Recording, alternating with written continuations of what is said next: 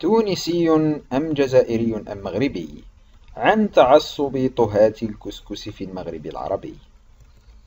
معركة الكسكس بين الجزائر والمغرب وتونس أشرفت على نهايتها إذ يبدو أن هذا الطبق الذي يتمتع بشعبية واسعة في المغرب العربي سيوحد المنطقة على الأقل حول المائدة. لماذا يكتسب الكسكس رمزية معينة؟ وما الجدل الكبير الدائر حول ملكية هذا الطبق الأشهر بين المغاربة؟ هوية كسكسية مشتركة. في العام 2016 تقدمت الجزائر بطلب من اليونسكو من أجل إدراج الرأي ضمن التراث العالمي. الأمر الذي أثار حفيظة المغرب إذ زعمت أحقيتها في ملكية هذا النوع من الموسيقى. ويبدو أن إخفاق الرأي في توحيد المغاربة حول هوية ثقافية مشتركة نجح طبق الكسكس في فعله إذ يعمل حاليا بعض الخبراء من دول المغرب العربي على إعداد مشروع مشترك بين المغرب والجزائر. هدفه إدراج الكسكس ضمن التراث العالمي الإنساني على مستوى اليونسكو. وقد علق سليمان الحاشي مدير المركز الوطني للبحث في عصور ما قبل التاريخ على هذه الخطوة قائلا قضية تصنيف الكسكس ضمن التراث العالمي هو مشروع مشترك بين دول المغرب العربي وأثنت ويزا غاليز الباحثة في مركز بحوث ما قبل التاريخ والأنثروبولوجيا التاريخية على أهمية هذا المشروع معتبرة أنه وسيلة لتعزيز الروابط بين الشعوب في المغرب العربي ولكن لماذا الكسكس بالتحديد؟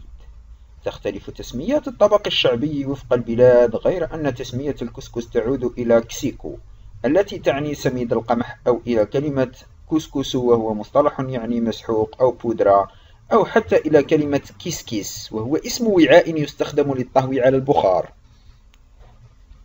يحظى الكسكسي بشعبية واسعة إذ لا تكاد تخلو مائدة في المنطقة العربية منه على الأقل مرة واحدة في الأسبوع خاصة يوم الجمعة بعد الصلاة. أما في المناسبات الاجتماعية أفراح وعزاء فيجتمع الأفراد حول طبقهم المفضل الذي غالبا ما يتم تقديمه في آنية فخارية كبيرة تسمى القصعة. من أجل حفظ حرارته أطول فترة ممكنة ثم يضاف إليه المرق والتوابل ويتم تناوله على أصول على أصوله جماعيا بتغميس اليدين.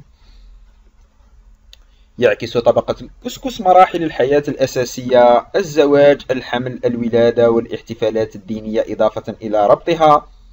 بالأساطير كونه يحمل بصمة العناصر الأساسية الأربعة النار التي تعطيه الحرارة والأرض التي أعطته الحبوب والرائحة واللون والمذاق والماء الذي يجعله يصل إلى النضج الكامل والهواء الذي هو البخار الذي يعتبر أساسيا في إعداد الطبق. الصراع على الملكية. لطالما كان هناك تنافس بين دول المغرب على ملكية هذا الطبق إذ تدعي كل من الجزائر وتونس والمغرب بأنها صاحبته. وفي حين أن البعض يشدد على أن هذا الطبق يعود للأمازيغ وهم السكان الأصليون لشمال إفريقيا فإن البعض الآخر يريد يريد يرد أن جذور الكسكس إلى الحضارة العربية مستند إلى القصائد والنصوص القديمة من بلاد الشام. وقالت ويزا غاليز إن طبق الكسكس يعود إلى العصور القديمة وهو ملك لشعوب عدة مشيرة إلى أنه تم العثور على أدوات قريبة من تلك التي تستخدم في صنع الكسكس في قبور لحكم الملك البربري ماسينيسا قبل الميلاد الذي وحد مملكة نوميديا التي تضم شمالي الجزائر وأجزاء من تونس وليبيا اليوم.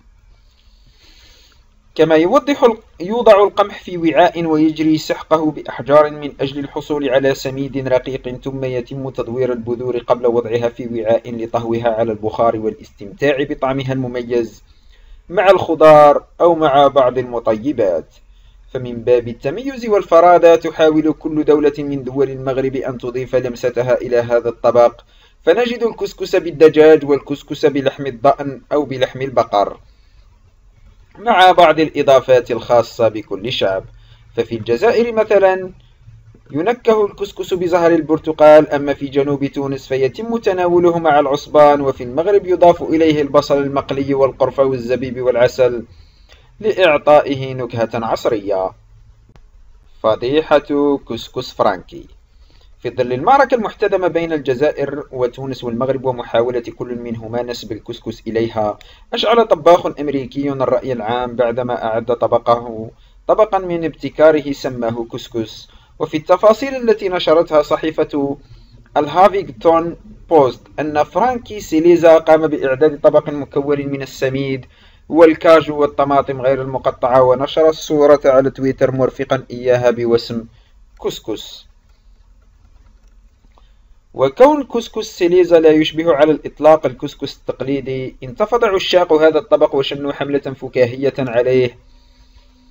ففي حين عمد البعض إلى نشر مجموعة من الصور التي تعود لأطباق معينة كالسوشي والسلطة وكتبوا تحتها كسكس في إشارة إلى أن ما أعده فرانكي لا يمت بصلة إلى الكسكس. فإن البعض الآخر حول منشور الطاهي إلى لعبة البحث عن الفروق بين صورة كسكس فرانكي وصورة الكسكس الأصلي.